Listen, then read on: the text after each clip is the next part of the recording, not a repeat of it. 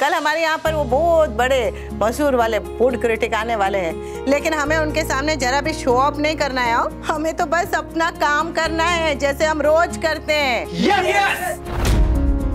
कल मेरी छोटी का जन्मदिन है आप तो जानते हैं। इतना देखिएगा कि कल गलती से भी कोई गलती ना हो। मैं नहीं चाहती अनुपमा जोशी मेरे बर्थडे के दिन सामने आए समझ लीजिए मेरा बर्थडे विश है। अनुपमा जी आप मेरा ऑफ़र एक्सेप्ट क्यों नहीं कर लेती? अभी इसमें पार्टनर हूँ, लेकिन पहले जब नहीं थी, तब भी ये मेरा अपना ही रेस्टोरेंट था। तो मैं इसे छोड़कर किसी और के पास क्यों काम करूँगी?